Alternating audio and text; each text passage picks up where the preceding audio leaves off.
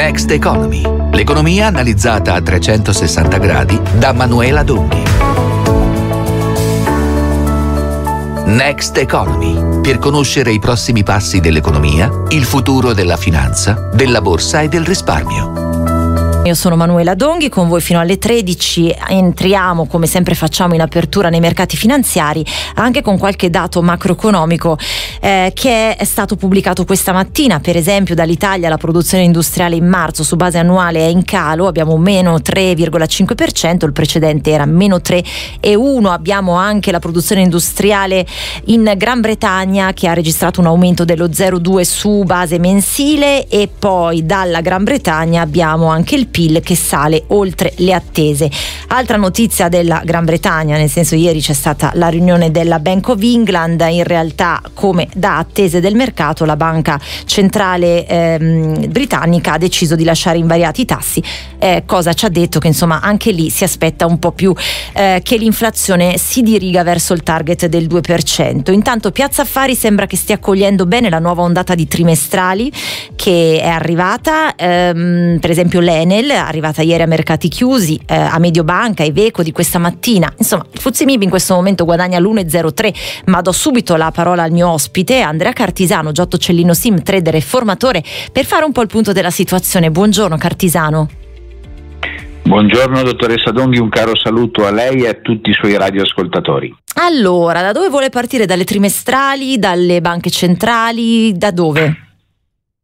Ma no, mh, mm, va benissimo partire magari dalla Bank of England perché mm. comunque per la prima volta non c'è stata una decisione unanime, eh, sono stati sette voti a favore del mantenimento eh, del tasso eh, a livello precedente e due contrari.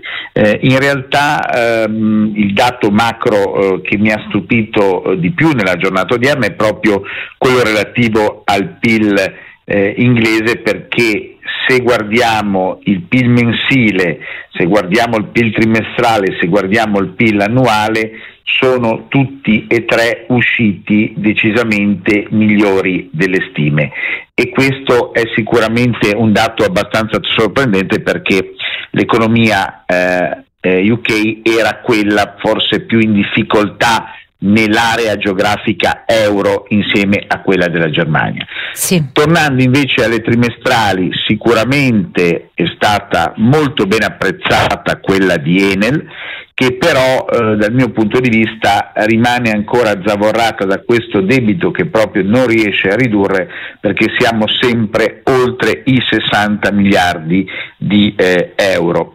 Eh, sta andando molto bene anche Iveco che a onor del vero eh, ha una classificazione per il proprio bilancio che lascia purtroppo gli investitori, nonostante oggi stia salendo molto. Non ha fatto eh, prezzo in apertura, giusto Iveco oggi, e poi sì, ha aperto a più 6. È stata mm-hmm. sospesa, eh, diciamo non ha, non ha, fatto prezzo in apertura, quindi eh, diciamo è stata ammessa poi dopo l'orario canonico eh, delle 9 perché c'è questo minuto random in cui i titoli aprono mentre Iveco ha aperto leggermente più tardi, però eh, nella fattispecie alle 9.06. Però l'aspetto eh, a mio avviso che andrebbe migliorato è quello della comunicazione dei dati perché se guardiamo, eh, sono tecnicismi e mi, perdono, eh, mi, mi, mi, faccia, faccia, chiedere perdono ai suoi radioascoltatori, eh, le metriche finanziarie, quelle EU IFRS l'utile è di soli 22 milioni in tre mesi, uh-huh. quelle non EU IFRS è di 153 milioni, per uh-huh. cui comunque non era neanche facile capire la situazione quale fosse, nonostante poi il mercato abbia apprezzato. In questo contesto però c'è una delle storie più tristi eh, alle quali io ho assistito eh, nella mia vita e sono oltre vent'anni che faccio questo mestiere, che è l'andamento di una mid cap che sta rischiando di diventare un ex mid cap che è Banca Pharma Factoring. Mm. Eh, ieri eh, non è riuscita a fare prezzo in asta finale è stata sospesa alle 13.52 eh, a un prezzo di 10,96 questa mattina ha riaperto direttamente a 7,79,5 e in questo momento eh, è sospesa dalle 9,34 con un teorico adesso di 6,4. Cosa è successo su questo titolo? I dati sono stati indubbiamente abbastanza deludenti tutto il mercato ha timore dei rilievi da parte di Banca d'Italia sulla classificazione dei crediti pubblici e sulla remunerazione dei dirigenti. Mi sembra una reazione eccessiva, però ecco questo per dire che purtroppo non è tutto oro quello che luccica perché eh, situazioni del genere sono per un investitore imparabili perché quando un titolo ti perde da asta a, ad asta oltre il 30%, eh, tu nell'ipotesi migliore accetti di, per, di perdere eh, mm. poco più del 30%, già adesso sarebbe più del 40%. Chiarissimo. Cui, eh, questo è un po' un caso limite, ma andava indubbiamente citato.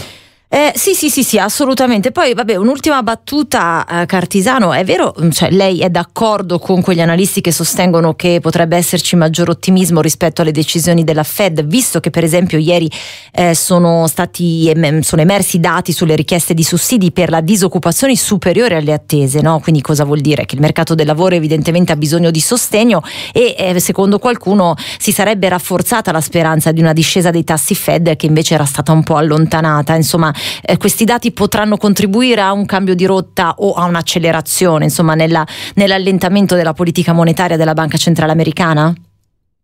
Questo sicuramente sì, anche se io sono dalla parte eh, della battaglia che sta combattendo Zero Edge, eh, che definisce attualmente l'economia americana una Bidenomics, uh-huh. dove probabilmente, soprattutto sulle richieste di sussidi di disoccupazione continue, eh, c'è sicuramente più di un dubbio perché sono in 100.000 unità da agosto, il range è più o meno 1.750.000, 1.850.000, quando sappiamo benissimo che le maggiori aziende americane hanno eh, licenziato centinaia di migliaia di dipendenti, quindi diciamo che è vero che i dati macro brutti possono, e quelli sulla disoccupazione sono tra i più guardati, eh, spingere la Fed ad anticipare un taglio dei tassi, però è anche vero che la bellissima crescita economica eh, degli Stati Uniti, come ho già detto in altre occasioni eh, in, in, negli interventi sul giornale radio, è alimentata dal debito pubblico americano, certo. principalmente dalla spesa pubblica americana. Quindi in realtà siamo eh, sempre su un filo sottile. Io credo che la Federal Reserve dovrebbe comunque tagliare prima di quanto ha intenzione di farlo, però l'unica certezza, anche se in finanza non ci sono mai in questo momento, è che probabilmente a giugno sarà la BCE a, a tagliare, tagliare. prima. Esatto, e peraltro oggi abbiamo anche la, la, pubblicazione delle minute dell'ultima riunione BCE e leggeremo insomma quello che emergerà, anche se poi ho un po' un riepilogo di quello che è emerso nella riunione. Grazie Andrea Cartisano, Giotto Cellino, sim trader e formatore. Next Economy, l'economia analizzata a 360 gradi da Manuela Donghi. Next Economy, per conoscere i prossimi passi dell'economia, il futuro della finanza, della borsa e del risparmio.